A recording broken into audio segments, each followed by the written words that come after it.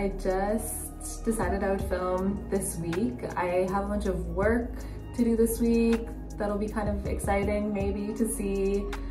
I, uh, I don't know. I just did my makeup.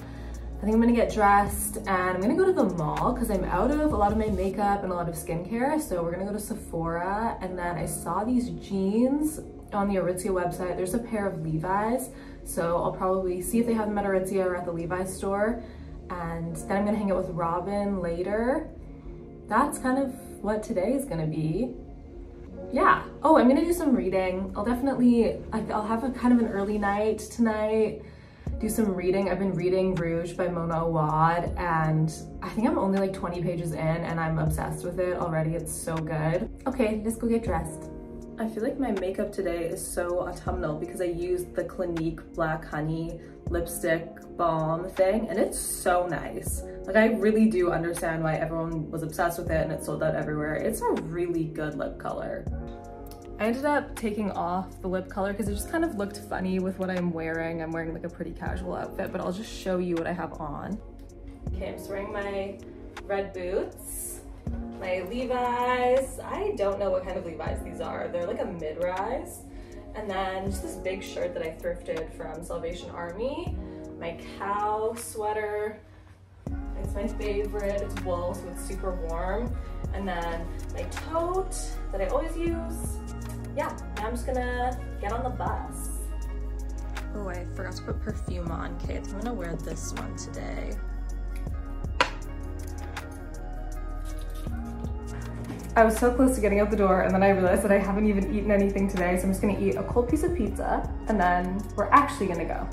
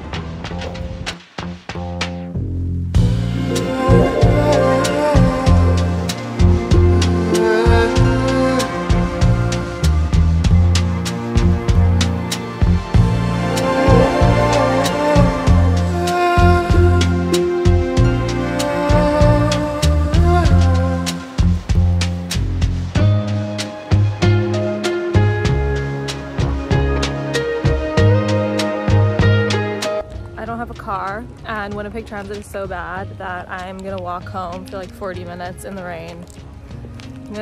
here we go.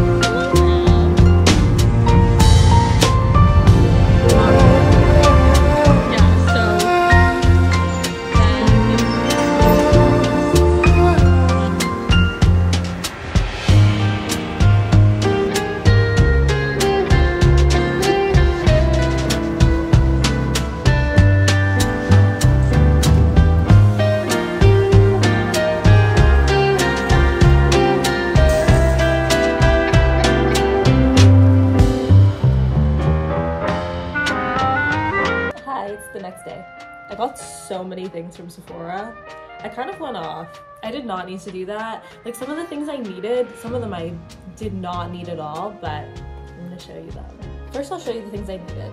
So I needed a toner and I got this Ole Henriksen, this Balancing Force Oil Control Toner. My T-zone is so oily that whenever I put makeup on, specifically my nose and my chin, within an hour of applying it, my the oils on my skin just break down all of the makeup completely and so I'm really putting in a conscious effort to figure out why that's happening, or not even why, but like just figuring out how to rectify that because it's so annoying. And hopefully this kind of helps. Then I got some hyaluronic acid from The Ordinary, and I got this to mix with this 100% niacinamide powder, which is also supposed to help with acne prone skin and excess oil. So basically this is like a powder and it just mixes in with the hyaluronic acid and it becomes kind of like this two-in-one serum. It's like hydrating but it's also oil controlling.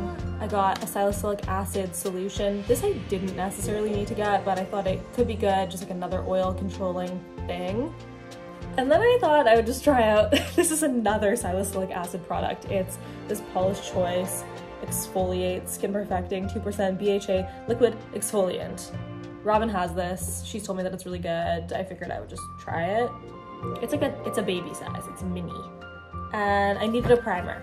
So I got the MAC Studio Fix. This is the 12 hour shine control primer that I'm basically just planning to put on my nose and my forehead and my chin and then I'll just like leave the rest of my face kind of like glowy when I do my makeup but hopefully this will help with all of my grease.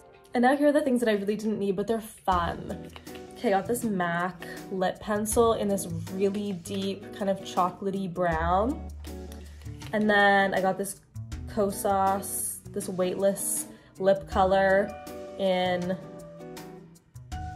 rich warm brown. So also just like really deep brown, um, which is just fun for autumn. I just thought they could be cute. I did not need them, but I got them. Yeah. I just have a little bit of work to do for school. I have to write, it's like this kind of like fake, well it's not really fake, it's an actual review for an exhibition that I went to this past week at a gallery. And so I have to write that. It's just a school assignment. And then once I finish that, which shouldn't take me too long, I think I'm gonna go to the thrift store. I'm gonna go to Value Village. That's what we're gonna be doing.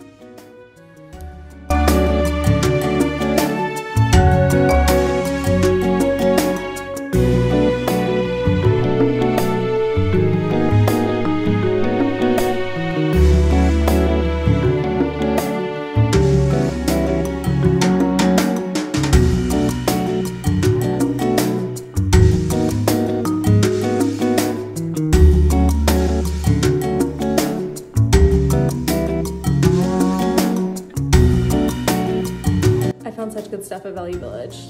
I actually can't believe it. Like I took the bus to Value Village and then I had to take an Uber home because I found so much good stuff. I just have to show you. Okay, so this thing is supposed to be a little vase, but it perfectly fits the coffee filters that I use for my pour over, and they look so much better than the dumb plastic bag that I was keeping them in on my counter. Then I also found this little bowl, God, the lighting in here is so bad, but it's just a perfect little bowl to keep my keys in. So good. I got this painting or drawing or mm, don't totally know what it is, but the animal is an emu and I really like it. When I saw these, I kind of freaked out because I have this painting that my Nana got in Mexico a really long time ago. Joni, please. Anyway, they match this other painting that I have perfectly. I'm planning to get them reframed and I'll get new mats for them because I don't really like the way that these look, but just look at this they match this perfectly, which I've had forever. I also found this dress, which is just a little bit too big on me, but I think I can do something with it to make the size work. This might be my favorite thing that I found. I got this sweater, it's wool. I found it in the men's section. I feel like this isn't really doing it justice, but it's like a perfect, perfect fall sweater. I also found a copy of A Little Life, which I read years ago, and I have no intention to reread, but I gave my copy away and I just wanted a new one. Or not a new one because it was secondhand, but you know what I mean.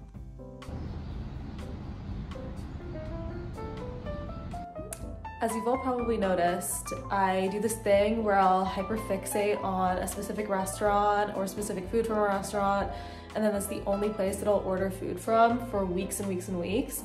And that's what I've done again today. I ordered a bunch of noodles and I'll just show you. I always get this cucumber salad, then I got a wonton soup, I got peanut noodles, and then just a beef broth because I like to add it to the peanut noodles. I always justify doing this because I'll eat all this food over the course of like two days. So I get a lot of meals out of it, like at least two lunches and two dinners. I don't really eat breakfast, but next week I'm gonna actually cook more.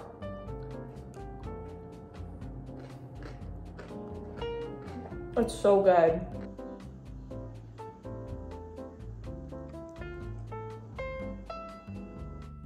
I think I'm gonna end the video here. I have to go to bed a little bit early because I guess I didn't tell you guys, I started working for my friend Chloe. She opened a bakery.